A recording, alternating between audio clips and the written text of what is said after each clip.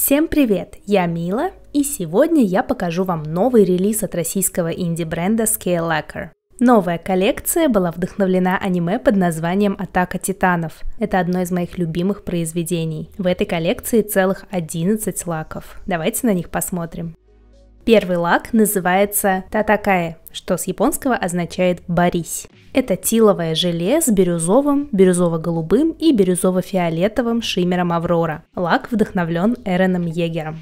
Он, ну, очень яркий и насыщенный. Этот цвет очень сложный для камеры. На него нужно смотреть вживую, потому что камера просто не знает такого цвета, но он безумно красивый. Он практически как зеленка на максималках, но только еще блестит и сверкает. Цвет невероятный, и под наклоном он еще шифтит в синий, довольно активно и заметно. По финишу он похож на металлик, но это не металлик напоминает мой любимый лак Schwinder's Eggs. Наносится он идеально, равномерно, не плешивит, не полосит. Первый слой прозрачный, но второй хорошо перекрыл ногтевую пластину. Возможно, немного просвечивает, но меня это не смущает. Так что можно обойтись двумя плотными слоями. Этот лак быстро сохнет и финиш у него гладкий. Родной глянец тоже неплохой. На мне два слоя плюс топ. Второй лак называется Shiganshina District, и это бронзово-золотой шиммер Аврора, красно-оранжевый мультихромный пигмент, мелкая гола, красно-оранжевая мультихромная слюда и черно-красная слюда в прозрачной базе. Этот лак вдохновлен городом Шиганшина, или в моей озвучке Сигансина, на юге стены Мария. Это довольно необычный лак и очень эффектный. Он действительно такой бронзово-золотой. То есть под прямым светом он более оранжевый, а под наклоном это прям золото. Он довольно активно переливается из бронзового в золотой. У этого лака прозрачная база, поэтому первый слой будет, конечно же, просвечивать, но начинки в нем много, и она перекроет собой ногтевую пластину на втором слое. Слюда здесь очень мелкая, в основном оранжевая, но шифтит в золото и даже немного в зеленый. Она не топорщится и даже практически сливается с базой и создает как бы единое полотно с шиммером. Прям не торчит отдельно, а является частью покрытия. Наносится этот лак хорошо и быстро сохнет. А под ярким светом в нем еще горит голография. Не супер яркая, но красиво подсвечивает лак. Финиш у лака почти гладкий. На мне два слоя плюс топ. Третий лак называется To You in 2000 Years. И это бирюзово-голубой шиммер Аврора, сине-голубая и сине-бирюзовая слюда Аврора в прозрачной базе. Этот лак вдохновлен тем, как все началось, матерью всех титанов. Для меня, наверное, самый красивый лак из всей коллекции. В нем, ну, очень яркая слюда, хоть она и как будто пастельная, плюс база у лака прозрачная, и нет под этой слюдой ничего, чтобы усиливало ее цвет, при этом она очень переливчатая, очень легко меняет цвет из зеленого или бирюзового в более синий, а иногда она становится яркой розовой. Еще и шиммер переливается. Это безумно красиво. При этом слюда очень тонкая, гладкая, не топорщится и не мешает нанесению. Одна даже слюдинка здесь попалась такая, более плотная плотная, зеркальная. Слюды попадает на ноготь много, но, конечно, из-за прозрачной базы ноготь просвечивает сильно, но переливы слюды отвлекают от просветов, поэтому я остановилась на двух слоях. Лучше всего этот лак смотрится в дневном рассеянном свете, он становится очень ярким и видно каждую слюдинку. Финиш у лака слегка шершавый и сохнет он быстро. На мне два слоя плюс топ. Следующий лак называется Forest on Giant Trees. Это красно-черно-зеленая, зелено-золотая и изумрудно-фиолетовая мультихромная слюда и черно-красная слюда в прозрачной базе. Этот лак вдохновлен аркой лес гигантских деревьев и женской особью. Еще один довольно необычный лак, состоящий полностью из мельчайшей и чуть более крупной слюды. Слюды здесь очень много. При нанесении она может смахиваться кистью на первом слое, поэтому лучше не набирать много лака на кисть. И опять же, так как база прозрачная, может потребоваться три слоя при нанесении тонкими слоями, но мне было достаточно двух более-менее плотных. В этом лаке очень яркая зеленая слюда, она прям горит и очень красиво выделяется на темном фоне. Также видно желтый и фиолетовые оттенки. Сам же фон у слюды темный, а под наклоном становится более красным, а также видно голубые слюдинки. Лак такой драматично праздничный, вроде темный, но при этом в нем фейерверк из разных цветов слюды. Финиш у него, кстати, почти гладкий. Сохнет лак быстро. На мне два слоя плюс топ. Пятый лак называется Titans Really Are Incredible. Это болотное крыле с бронзово-золотым и оранжево-розово-зеленым шиммером Аврора. Вдохновлен Ханджи Зоe. Этот лак на первом слое немного жидковат, не очень плотный и не перекрывает ноготь. А на втором слое ложится хорошо, в принципе, полностью перекрывает ногтевую пластину, но некоторые места все равно могут просвечивать. Со своей длиной я оставила два слоя, потому что в целом покрытие было достаточно плотным. Лак очень теплый и переливчатый. Под направленным светом в нем горит бронзово-золотой шиммер ярким огненным пятном, а также появляются розовые вкрапления слюды. При этом по бокам ногтя лак насыщенный теплый зеленый, как и под наклоном к свету, а также может отливать золотым. Шиммер мелкий и гладкий, не топорщится, и лак тоже гладкий с неплохим родным глянцем. Ему больше идет рассеянный свет. Мне кажется, такая цветовая гамма очень точно отражает сцену, которой вдохновлен этот лак. Сохнет он быстро. На мне два слоя плюс топ. Далее лак под названием Other Side of the Sea. Это тиловое желе с бирюзово-фиолетовым и сине-фиолетовым шиммером Аврора. Он вдохновлен морем, этим огромным, почти бескрайним озером, уходящим за горизонт. Еще один волшебный лак, чей цвет сложно уловить на камеру. Он очень красивый, шиммерный и похож своей текстурой на первый лак, и даже на первом слое он более тиловый, но со вторым слоем он становится очень насыщенным голубым, цвета морской воды. Этот оттенок, ну, очень красивый. На него тоже лучше посмотреть вживую. Под ярким светом в нем мерцают бирюзовые искорки.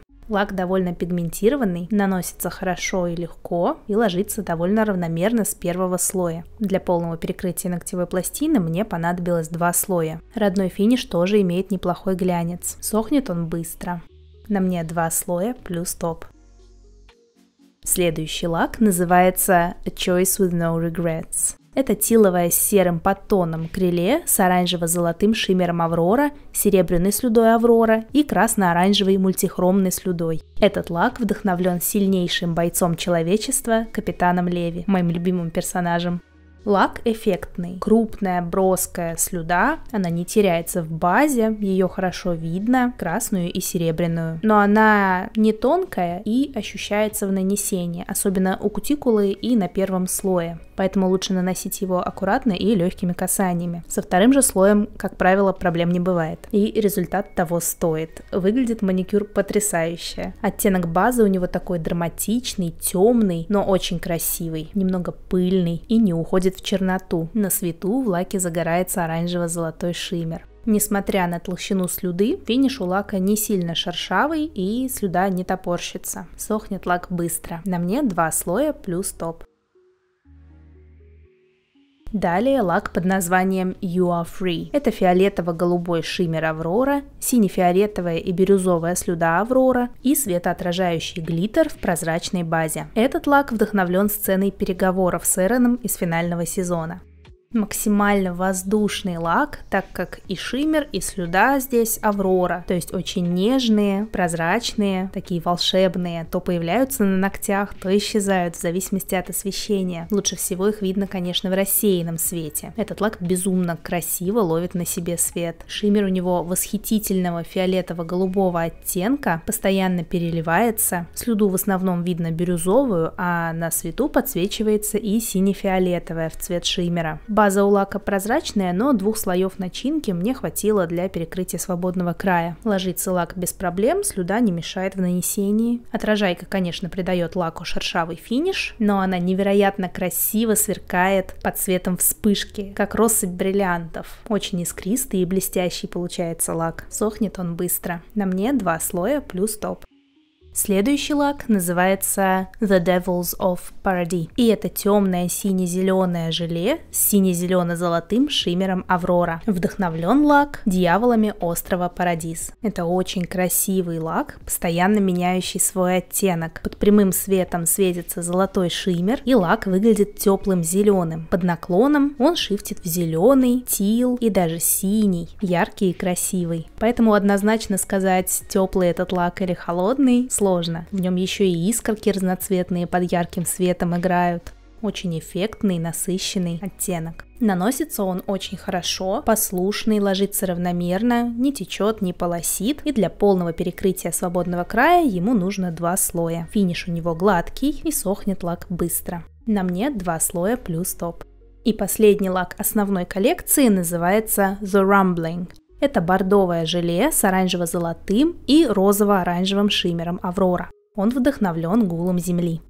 Это классный, насыщенный красный цвет. У него холодная база, подсвечивающаяся горящим розовым шиммером, но при этом шиммер может переливаться в оранжевый и делать оттенок теплее и более огненным. Он очень насыщенный, плотный, пигментированный, при этом не пачкает кожу при снятии. Наносится он отлично, почти полностью перекрыл мне ногтевую пластину с одного слоя, а для полного перекрытия ему достаточно двух слоев. Ложится равномерно, не полосит, не плешивит, текстура очень комфортная. Сохнет быстро и финиш гладкий. На мне два слоя плюс топ подарок при покупке на сумму от 6000 рублей без учета доставки можно будет получить лак с очень сложным названием из опенинга, которое я не знаю, как читается. Но в общем это красно-оранжево-золотая и сине-фиолетовая слюда Аврора с фиолетово-оранжевым шиммером Аврора в прозрачной базе. Этот лак максимально прозрачный и не перекрывает свободный край. Мне такое, конечно, сейчас не очень подходит, но знаю, что очень многим нравится такой финиш. При всем при этом в нем довольно яркий шиммер, фиолетовый фиолетовый под прямым светом и уходящий в красивый розовый оттенок под наклоном, а затем подсвечивается оранжево-золотым, когда загорается слюда.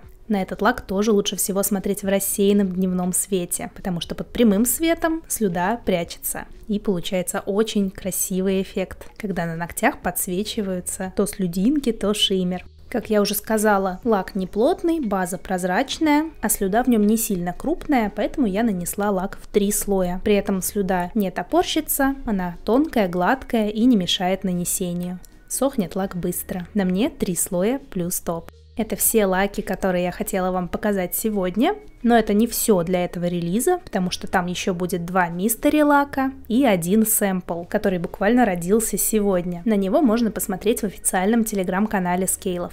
Релиз получился довольно большой, и меня это радует, тем более вдохновлен он таким прекрасным произведением. Больше всего мне понравились лаки «Tatakae» и «To You in 2000 Years», но и остальные тоже очень красивые. А какие лаки понравились вам, пишите в комментариях. Чтобы увидеть все свотчи на эти лаки, заглядывайте в мой телеграм-канал. Туда я также выкладываю новости из лакового мира и даже макияжи, так что подписывайтесь. Также не забывайте подписаться на этот канал, если еще этого не сделали, и поставить лайк этому видео. Мне будет очень приятно. У меня на этом все. Всем большое спасибо за просмотр. Пока-пока!